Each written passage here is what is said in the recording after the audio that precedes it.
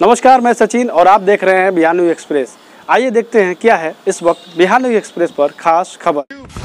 हसनपुरा प्रखंड प्रमुख के प्रतिनिधि नुमान उर्फ़ कक्कू ने राजद नेता तेजस्वी यादव पर जमकर हमला बोला। उन्होंने कहा कि तेजस्वी यादव तनाशाही हो गए हैं और पैसे लेकर टिकट का वितरण करते हैं। उन्होंने कहा कि जब लालू यादव पार्टी का नेतृत्व करते थे तब पार्टी सही दिशा में आगे बढ़ रही थी। लेकिन जब से तेजस्वी यादव ने नेतृत्व करना शुरू कर दिया है तब से उनके तानाशाही के कारण पार्टी की स्थिति खराब होती जा रही है। आइए सुनते हैं नुमान उर्फ़ कक्कू ने और क्या क्या कहा। थे आरजेडी के। क्या रीज़न है इसका? देखिए रीजन क्या है? इस समय टिकट लेने का हकदार हमारे शैलेंद्री कुमार थे दूसरा कोई नहीं।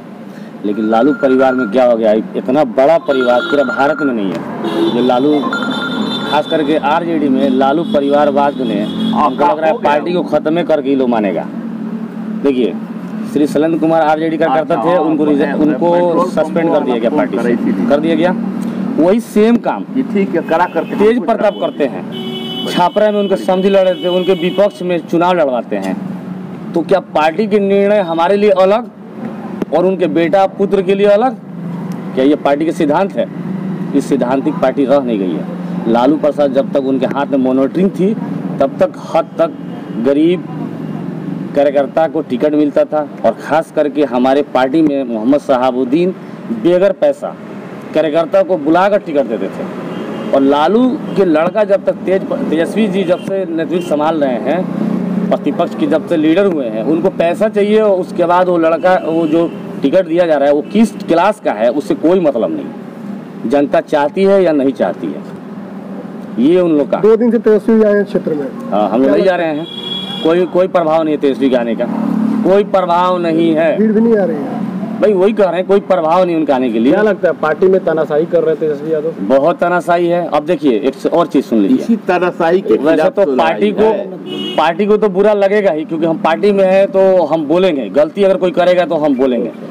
देखिए लालू प्रसाद थे तो हम लोग सुप्रीमो और सीएम थे बहुत हद तक ठीक था। फिर कुछ दिन के लिए उन पर कोई दिक्कत आई तो राबड़ी देवी थी। वो भी हम मान लेते हैं कि हमारी पार्टी पार्टी की सुप्रीमो की पत्नी हम स्वीकार कर रहे हैं। उसके बाद से प्रतिपक्ष के leader Tejashwi Yadav, deputy CM रहते हैं। हम डॉक्टर मोहम्मद साहबुद्दीन को नीतीश कुमार लेकर तिहाड़ भेज रहे हैं। वो क्या उनके पास इतना भी शब्द नहीं है कि उस पर मैंने कुछ बोला जाए? क्या यार पार्टी का ये सिद्धांत है? जो आदमी पार्टी के लिए मैंने अपना पूरा लाइफ कुर्बान कर दिया और पार्टी के लिए वो आज तिहाड़ में है, पार्टी के लिए उनका क्या स्थिति बना है? और आज तक नहीं, पार्टी सोच रही है कि साहबुद्दीन के ये तेजस्वी सोच रहा है कि साहबुद्दीन के नाम नहीं लेंगे तो मेरा जय जयकार हो जाएगा। अरे साहबुद्दीन एक पर्सन है, वो आदमी कार्यकर्ता से जुड़ा हुआ है, वो आदमी पैसा का लालची नहीं है। और चार टन एम पी रहते हुए वो आदमी कुछ लुटा है, कसोटा है? नहीं।